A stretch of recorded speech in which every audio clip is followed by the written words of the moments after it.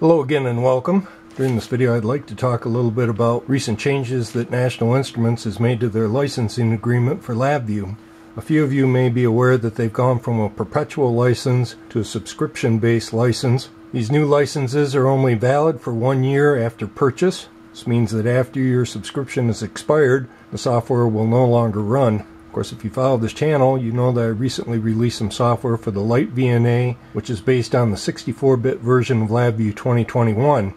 Up till now, I've been using the 32-bit version of LabVIEW 2011. Let me give you a little background about my experience with LabVIEW. I started out my engineering career back in the 1980s. Back then, in order to automate any of our tests, we were using Borland's BASIC. A few of you may remember that. At one point, I had seen some software that National Instruments put out. It was something I think called LabWindows. It ran under DOS, and it was this GUI interface that we could use to automate our tests. And it looked pretty slick. I remember it costing a fair amount of money, and we didn't investigate it any further. Later in my career, I went to work for another company, and I came across a fixture that was running, and I had asked about the language that they were using to write the software. It looked pretty impressive. Turns out it was LabVIEW 3. I tried using LabVIEW 3. I don't remember what all the problems were, but I do remember it didn't have an undo feature. So like if you wired something up or you placed an object, you couldn't just push undo and back it back out. You basically had to redo everything. There was another problem with it in that when you would build an application or make an executable from it, it would wipe out all of your source code. Really. so I don't remember if that was in LabVIEW 4 or 3, but eventually, 5 came out, and most of the problems were cleaned up. By that point, I was familiar enough with LabVIEW that I decided to buy my own copy of it for home use. Eventually, I upgraded version 6. I really liked using it. Of course, for professional use, the companies I work for continued to buy newer versions of the tool. Eventually, LabVIEW 9 came out, and then I decided to upgrade my home license. You'd think that that would be a very trivial thing to do. I contacted National Instruments and they had no record that I had any of the software that I claimed that I had. I ended up faxing. I don't know if you remember faxes, but I ended up sending them basically paper copies of all my purchases for home use. And essentially, even with the serial number, they said that the software was so old they no longer had records of it. A few weeks went by. I had spent several hours on the phone with them, couldn't get it resolved. And I eventually told somebody in sales that I had never worked so hard to give a company money to buy one of their products. So they took a hint and they ended up upgrading my license, but they also gave me like a thousand dollar discount. So I was pretty happy about that. And I ended up upgrading to 2011 and I've been there ever since. Of course, a few years ago, National Instruments announced the end of LabVIEW. They were going to replace it with a tool called NXG. Unfortunately for most of us, LabVIEW prevailed NXG ended up dying. Recently, for my professional use, we had changed over to the 64-bit version of LabVIEW. Now keep in mind, they've had 64-bit versions of LabVIEW out for some time now. The problem is, is it's always been crippled. So you've never been able to do everything that you could with the 32-bit version of LabVIEW. But this recent version of the 64-bit tools did not appear to be crippled in any way.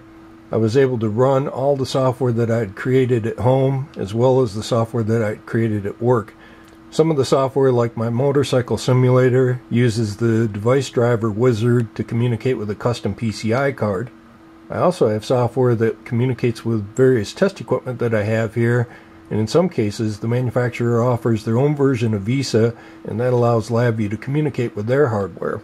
So with all of my testing, I didn't find any problems. And one of the big advantages I saw with that software is that it allowed me to better utilize the resources on the PC. Not just the memory, but the multi-cores. Of course, if you're a LabVIEW programmer, you know that it supports multi-threading, but the new 64-bit version does a much better job of it. I liked it so much that I decided to finally upgrade my home license so I ordered all the software online. You can just download it. It took about a week to actually get the license, but after I had it, everything worked. I was able to port over my network analyzer software to it. I didn't have any problems with it whatsoever.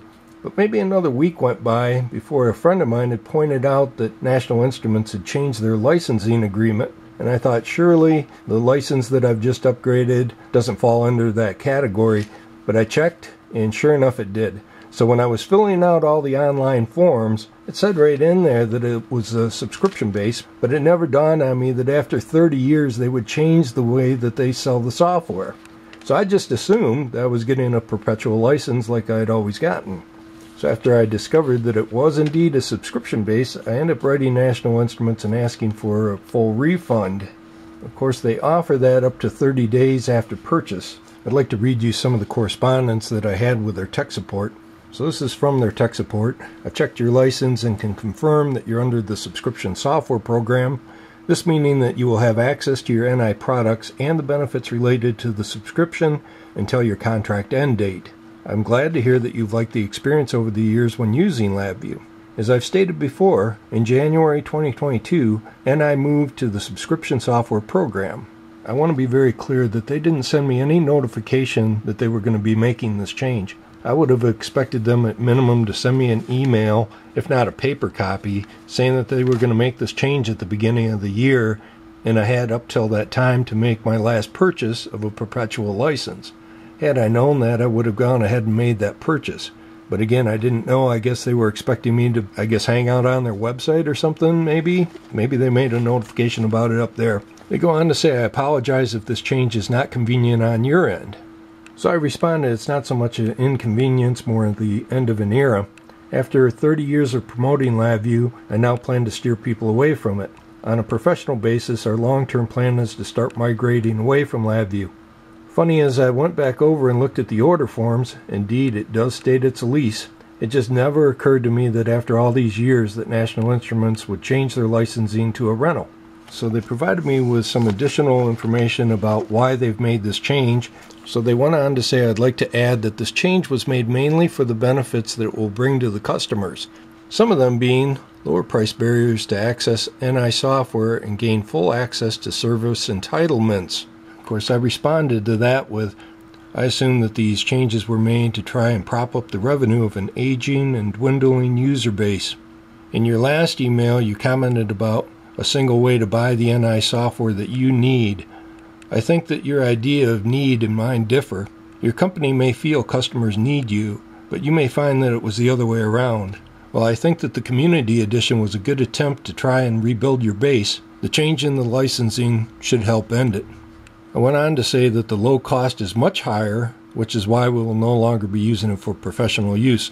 Again, I want to be very clear that the license for my home use would have cost typically about $3,000, maybe $3,500. That's basically what I was expecting. I think the bill came in at $3,000, but again, that's for one year of rental.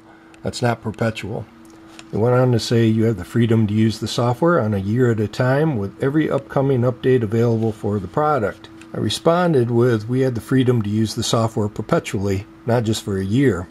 They also wrote, focusing on our software platform enables NI to invest in a scalable, modernized experience. I responded with, let me remind you how LabVIEW was soon to be replaced with NXG. That's focus. They also wrote, improved access to new features to meet increasing go to market pressures. I responded with, new features? Are we referring to the new company logo? Had you rolled out features that I found useful, I would have upgraded much sooner. I held off because of how stagnant the tools are. They wrote quick and reliable access to engineering support. So let me tell you a few stories that I've accumulated over the years in regards to their tech support. So I've mentioned before that I have these GPIB Ethernet controllers from National Instruments. Now those are no longer supported by LabVIEW, but back when they were being supported, I think it was when I upgraded to LabVIEW 6, Basically, what ended up happening is any software that I would run, it would stall out, whether it used the GPIB controller or not. It would cause the software to require tens of seconds to actually come up where it used to basically be instant. So eventually I called tech support because I would like to get this resolved.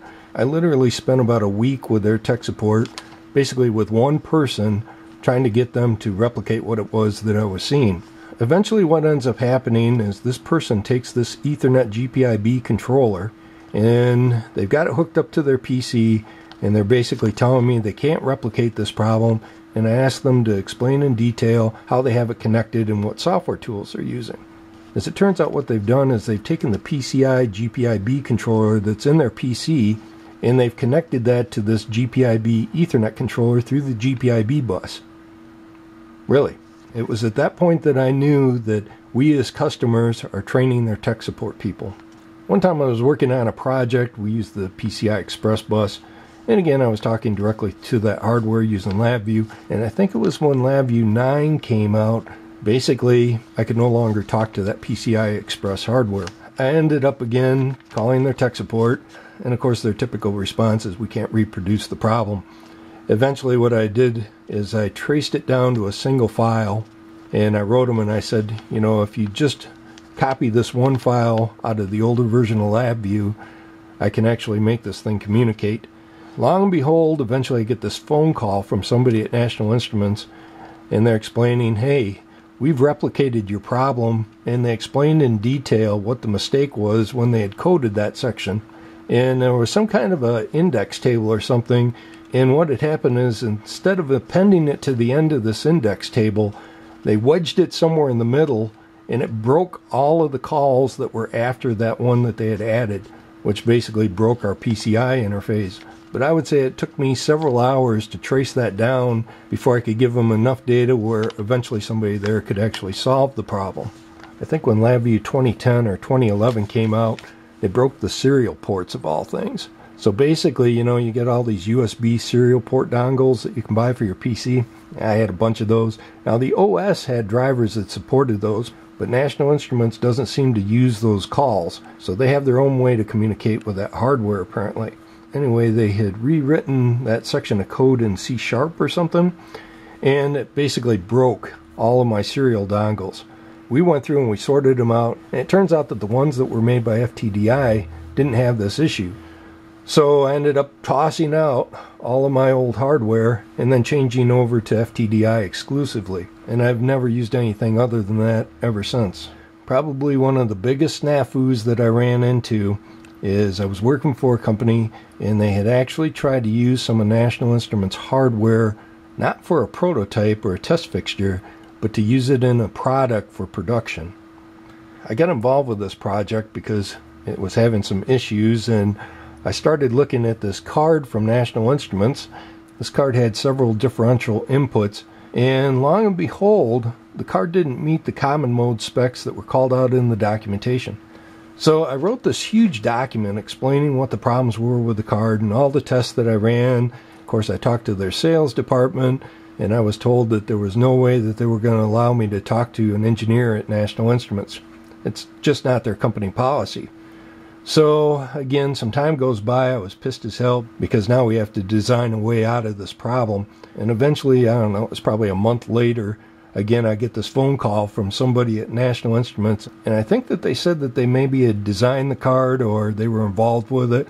But essentially, they ended up going through all my testing. They were able to replicate exactly what I was seeing, and they wanted to let me know that they had solved the problem. Not by actually fixing the hardware, but by changing the specification for the product. Anyway, you can see that there's been some changes at National Instruments. Of course, again, they've changed the company logo and the company name. As a customer, I found that very helpful.